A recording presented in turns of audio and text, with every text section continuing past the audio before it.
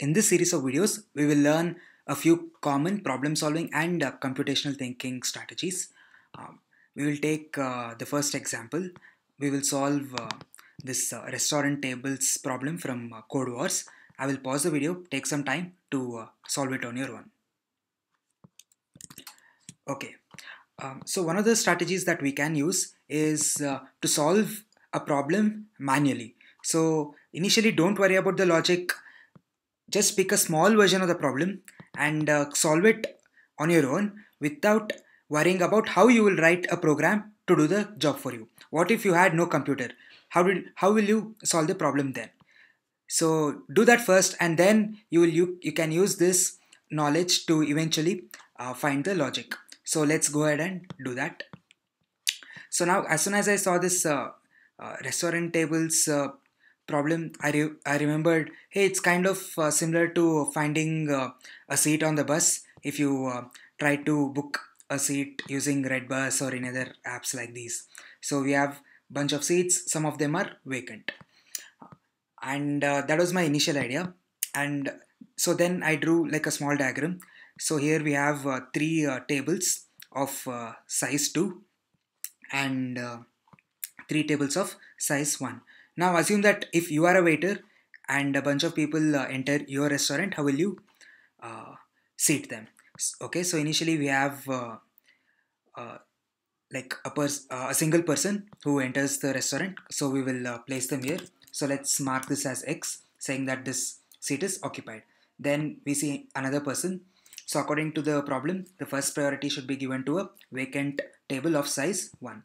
So we place them here right? So as humans it's like natural to just directly go and uh, uh, locate this empty seat right? But just take a step back and uh, think how you actually uh, place the second person here. So what we did is uh, we first we checked whether the first seat was available.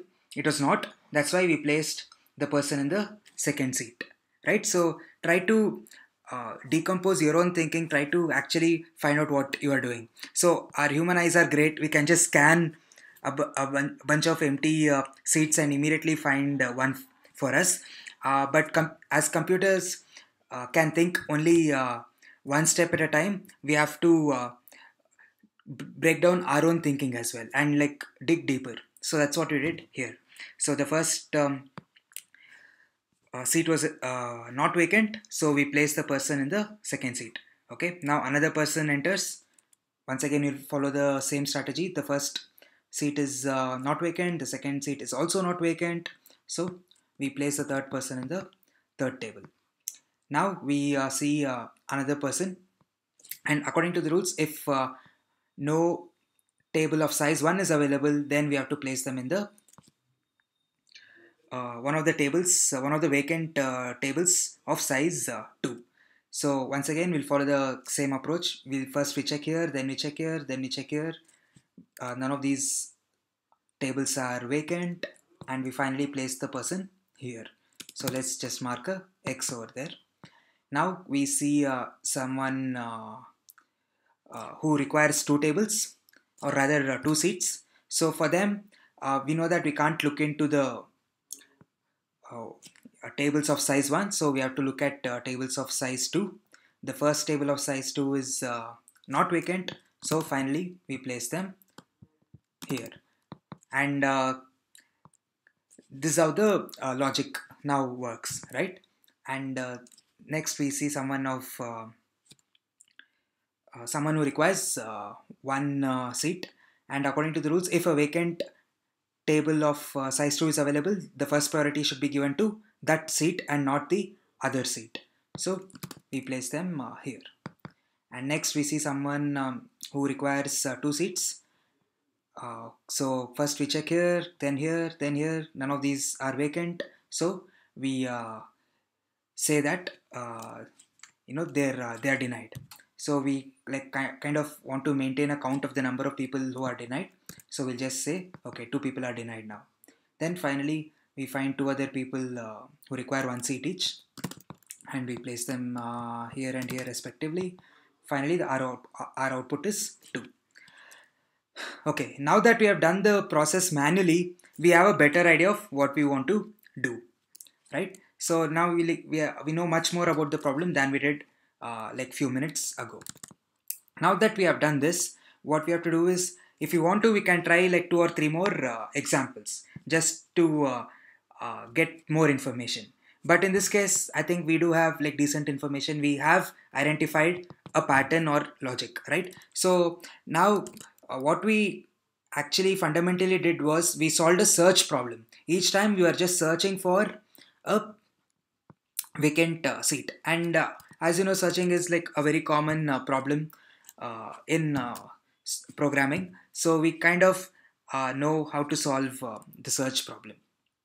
All we have to do is iterate through a bunch of values and check whether we are able to find a suitable value. So that's the search problem. So we kind of know that okay we will be using some for loops and we will be comparing values. So that will be part of the core program. Okay. Now finally we kind of have some uh, pattern uh, or logic. So we have to translate this logic into code. Okay. Um, now um, one of the first things we have to do is uh, find uh, like a suitable way to uh, represent our uh, data. So this part is called as data representation in computational thinking. Uh, so we have to find some way to uh, uh, you know organize all our data and store our data. And as soon as we drew this picture it kind of feels obvious that we need like an array. We need an array of ones and then we need another array to store uh, these two values. So let's uh, take a concrete example like uh, this and see how our data will look like. So what we'll do is we have like a one array of ones and initially they're all like empty um, so what we can do is uh, we need to come up with a value to represent empty so let's uh, come up with true for uh, an empty value. So if uh, the if the value is true it means that the seat is uh, vacant. So true implies vacant and false implies the seat is taken. So these are encoding and data representation that uh, we have been doing. And now for the twos uh, once again we'll have an array but every value in this array will also be an array. So this tells whether uh, each individual seat is taken or not so initially none of the seats are taken so we have uh, true true and then true true so we have uh, three uh, tables of size 2 which are all uh, vacant so this is like the initial uh, state of the program. And now each time a person enters the restaurant, we follow our logic according to the rules given in the problem. So this this kind of now we have like a better idea, and uh, now what we can do is we can write the pseudo code And of course, this is not the only way to solve the problem. This is not the only way to represent our data. Later we will see a better way to uh, represent our data. But this is like very close to how uh, like as humans we would want to uh, solve this problem right? And uh, for now let's just convert our thinking into code. Okay. Now uh, uh, you, you can see here that the problem statement was a little bit complicated there are like too many rules one of the things we have to do is take down i mean understand the problem and then come up with a very solid set of uh, rules ourselves, which is like concise and still covers all the cases. So let's uh, come up with uh, the rules. So here are the rules. So if uh, one enters the restaurant, first we check whether a one vacant table is available. If yes, we'll allocate them to that table. Else check whether a two vacant table is available. If not, we'll then we'll check whether a two table is semi-vacant and available. That means if uh, you know only one of the seats are taken, that is good as well. If none of these conditions are satisfied, then we will deny that customer. And uh, if two people enter the restaurant, the rule is very simple in this case. Is a table of size 2 vacant? If it is, great. If not, deny. So this kind of captures everything in the problem, right? These set of uh, rules and uh, finally we are ready to write our uh, pseudocode so now uh, let's just uh, write it so we have this ones array and then we have a twos array and uh, what we have to do is uh, for uh, each uh, customer of customers let's say customers is also an array I usually like to uh, have uh, proper values uh, so that I can uh, think in uh, a specific case but finally write the solution for the uh, general case. Let me copy this. Okay, so for each customer, what we have to do is check whether the customer requires one table or two tables.